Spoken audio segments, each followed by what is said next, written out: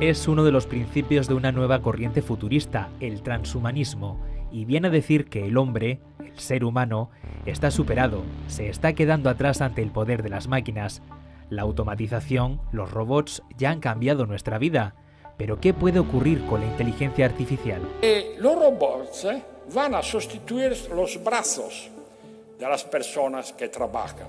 La inteligencia artificial va a sustituir la mente. Este es un punto muy importante. Es una idea peligrosa que para el prestigioso economista Stefano Zamagni hay que contrarrestar con otro concepto, el neumanismo.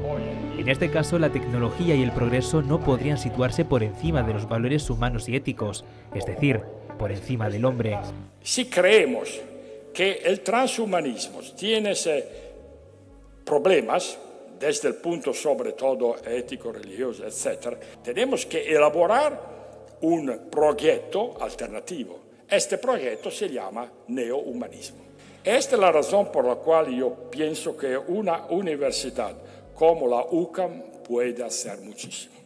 Lo cierto es que estamos en una gran transformación y todos somos responsables de que la tecnología no marque la agenda del mundo contemporáneo, responsables de poner límites y mantener la esperanza en la creatividad y pasión de la inteligencia humana.